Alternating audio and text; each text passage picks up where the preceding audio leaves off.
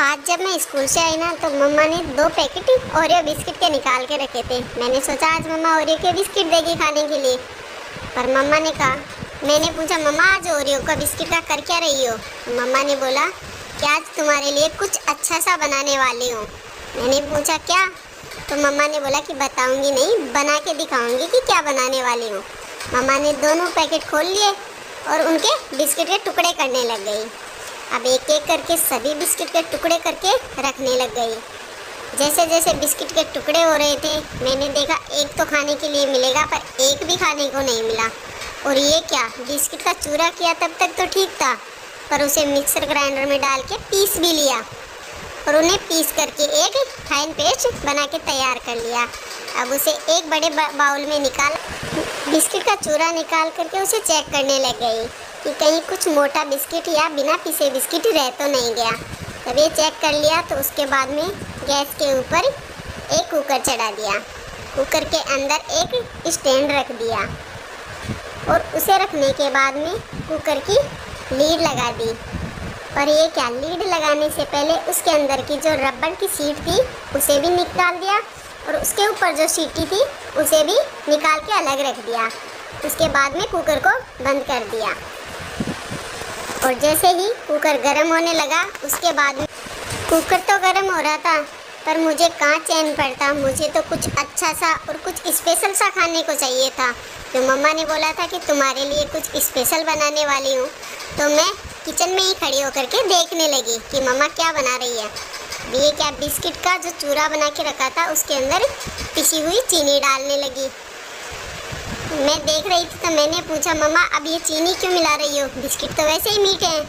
तो मम्मा ने बोला, थोड़ी देर रुक, फिर पता चलेगा तुझे। उसके अंदर दो चम्मच चीनी की मिला दी। अब ये क्या? ये बेकिंग पाउडर भी मिलाने लग गई। मैं पूछा, मम्मा, क्या कर रही हो? तो वो बोली कि, थोड़ी देर रुक जाओ और देखती जा कि मैं क्या क्या मिलाती हूँ। उसके बाद में एक चौथाई चम्मच बेकिंग सोडा मिलाया। उसके बाद में रिफाइंड ऑयल मिला दिया दो चम्मच।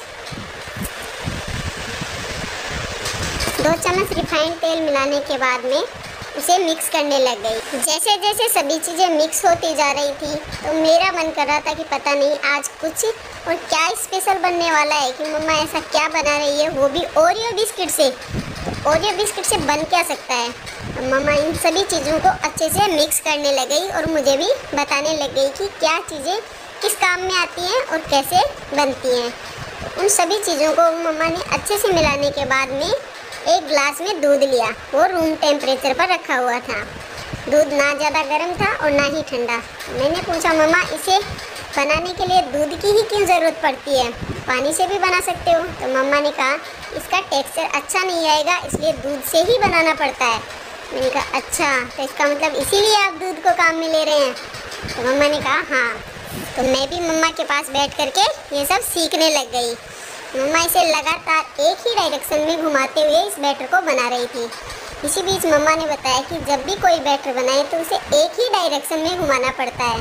अगर आपके पास बेकिंग पाउडर और बेकिंग सोडा ना हो, उसकी जगह आप इनो ले सकते हैं। लेकिन इनो को डालना तब है जब हम बैटर पूरी तरह से बन करके तैयार हो जाएगा और जब हम पकने के लिए रखेंगे, उसी वक्त इनो को डालना होता है।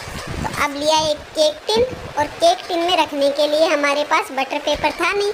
तो मम्मा ने उसके अंदर एक चम्मच तेल की डाल दी। तेल को चारों तरफ़ फैलाने के बाद में उसके अंदर थोड़ा सा मैदा डस्ट किया और जो एक्स, चारों तरफ़ मैदा को फैला दिया और जो एक्स्ट्रा मैदा बची उसे निकाल दिया। उसके बाद में जो बैटर बना के तैयार किया था, उस बैटर को उसके अंदर केक टिन के अंदर डाल करके और उसको दो से तीन बार टैप कर दिया, जिससे जो भी एयर बबल थे, वो सब निकल गए। और हाँ अगर आपके पास केक टिन नहीं है तो आप किसी भी कटोरी या फिर बड़े से बर्तन में बना सकते हैं। बर्तन ऐसा होना चाहिए जो कुकर में अच्छे से आ सके। कुकर से बड़ा बर्तन नहीं होना चाहिए। अब जो बैटर बना के तैयार किया था, उसे केक टिन में डाल दिया। और केक टिन तो मम्मा ने बताया कि इसी वक्त जो इनो होता है, उसे बैटर में डालना होता है और एक चम्मच इनो के ऊपर पानी की डाल दें।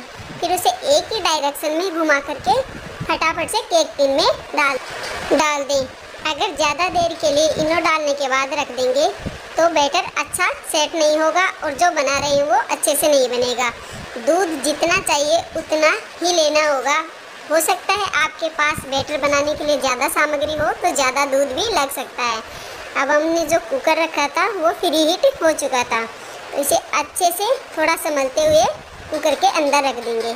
इसके ऊपर हम लगा देते हैं ग्लास वाली लीड, जिससे कि ये अच्छे से दिखता रहे कि ये पक रहा है या नहीं। इसे बार बार खोलने की ज़रूरत नहीं होगी। अगर आपके पास ग्लास लीड नहीं है तो कुकर का ढक्कन भी लगा सकते हैं, पर उसमें सीटी और रबर सीट नहीं होनी चाहिए।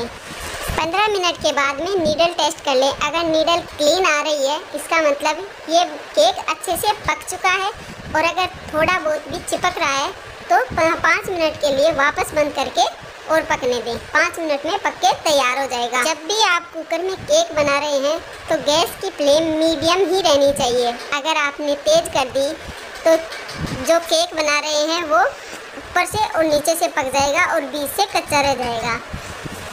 ये देखिए, पंद्रह मिनट के बाद में मैंने फोक की मदद से चेक किया। दो तीन जगह फोक डाल करके देख लिया तो फोक एकदम क्लीन निकल रही है। इसका मतलब कि हमारा केक अच्छे से बेक हो चुका है। अब लीड को हटा देंगे और इसको केक टिन को कुकर के अंदर ही ठंडा होने देंगे। पाँच दस मिनट के अंदर ठंडा हो जाएगा। ठंडा होने के बाद में इसे एक बर्तन में निकाल लेंगे। ऊपर इसके थाली या कोई प्लेट रख देंगे। फिर उसे उल्टा करके दो से तीन बार टैप कर देंगे तो केक अच्छे से बर्तन में निकल जाएगा। जब केक प्लेट के अंदर निकल जाए तो दूसरी प्लेट केक के ऊपर रख के उसे सीधा कर लें, जिससे कि जो नीचे वाला हिस्सा है, वो नीचे चला जाएगा, ऊपर वाला ऊपर आ जाएगा। ये देखिए, ऊपर जो हमने मैदा डस्ट डस्ट की थी, वो मैदा दिख रही है। और कितना स्पंजी स्पंजी केक बन के तैयार हुआ है। सच बोलो ना तो मेरा अभी की अभी केक खाने का मन कर रहा है। आपको भी अच्छा लगे तो ज़रूर केक बना के ट्राई करिए वीडियो। लाइक, शेयर और सब्सक्राइब करिएगा और कमेंट करके बताइए कि मेरी मम्मा का हाथ का केक कैसा बना। धन्यवाद।